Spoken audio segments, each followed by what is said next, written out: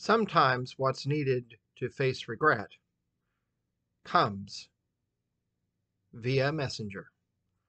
Our scripture reading today comes to us from Genesis chapter 24, verses 62 through 67.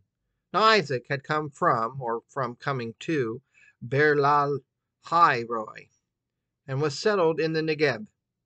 Isaac went out in the evening to walk. We're not sure what the word walk means in here, in the field and looking up, he saw camels coming. And Rebekah looked up. And when she saw Isaac, she slipped quickly from the camel and said to the servant, Who is the man over there, walking in the field to meet us? The servant said, It is my master. So she took her veil and covered herself. And the servant told Isaac all the things that he had done. Then Isaac brought her into his mother Sarah's tent. He took Rebekah, and she became his wife and he loved her. So Isaac was comforted after his mother's death.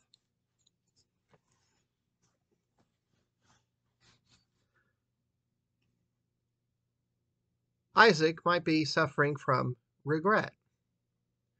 You see, just before this, he had been nearly offered to God as a sacrifice. And it's right after that that Sarah dies.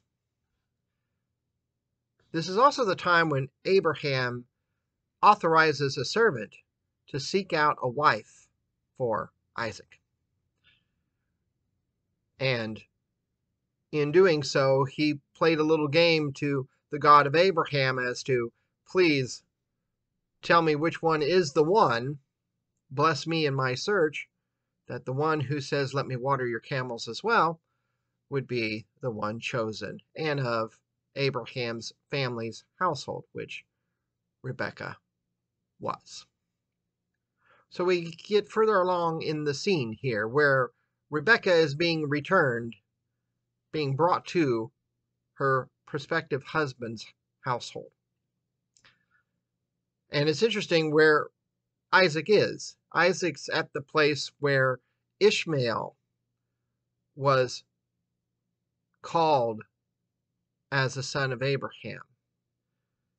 And so, very tellingly, Isaac will also take up the mantle of descendants of Abraham.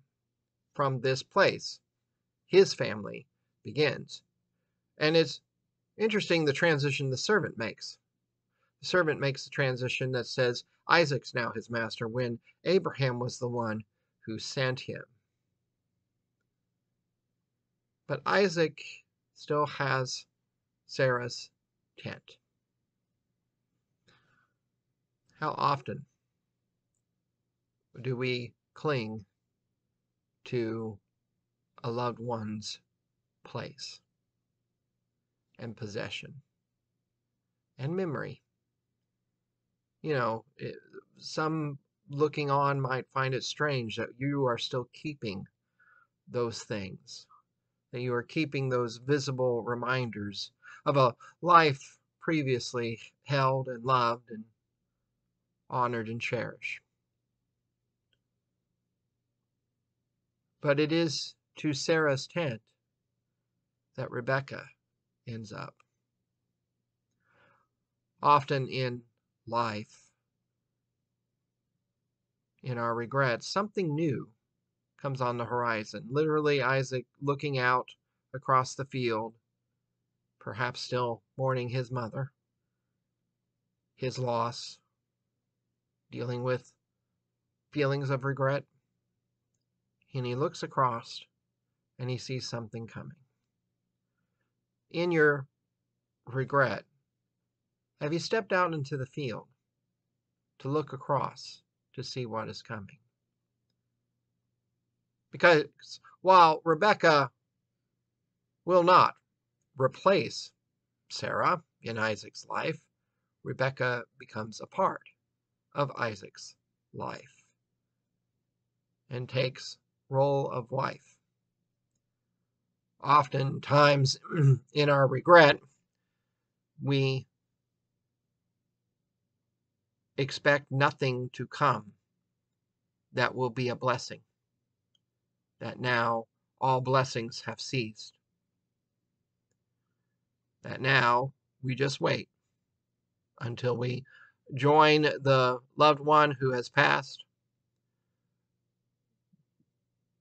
Our failure to fix a relationship, we fixate on the hopelessness of our situation.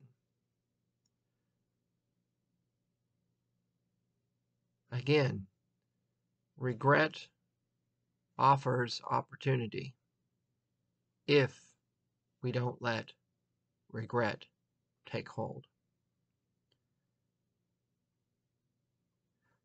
In our sorrows, we can look up and find God's provisions arriving. Even if we have to step out of the tent of the one we have lost. Life continues and can begin again, if only we bring it into our homes. Let us pray.